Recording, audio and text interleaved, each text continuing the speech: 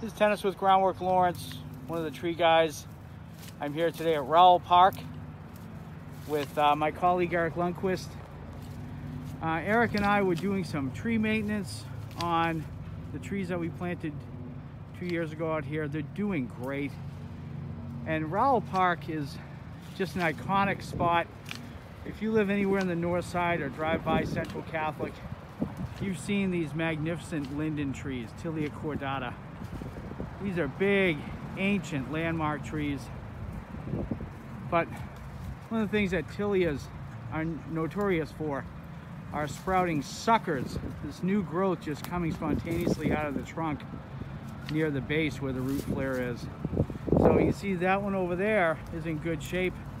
But uh, this one's in desperate need of a haircut. So Eric and I are gonna spend a little time here and trim it up.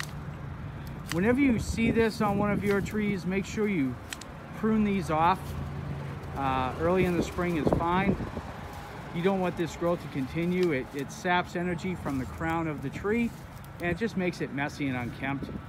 Uh, it's not good for the tree to have these suckers. If you have a lot, it might be an indicator of uh, tree stress. You want to look into that. When you're pruning these, uh, make sure you try to get as close to the trunk as possible while still leaving just a little bit of a stub uh, that the tree can heal and wall off. Uh, this, of course, in our case, will take some time. So we're working away at it section by section.